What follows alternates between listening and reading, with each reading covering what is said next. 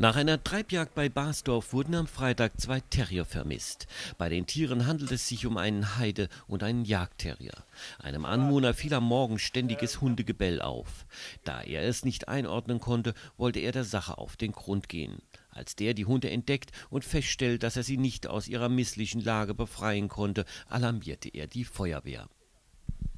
Wir wurden alarmiert zu einer Hunderettung an, im Steilhang an der Kahlenhardt bei, bei Fürstental.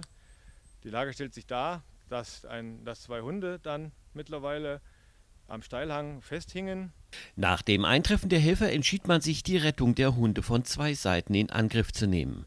Ein Hund wurde mittels Ruderboot erreicht, eingefangen und mit einem Pkw nach Basdorf gebracht.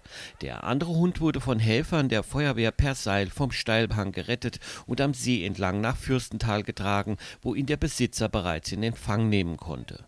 Außer einem Schrecken haben die Hunde offensichtlich keinen Schaden genommen und sind nun wieder wohlbehalten bei ihrem Herrchen angekommen.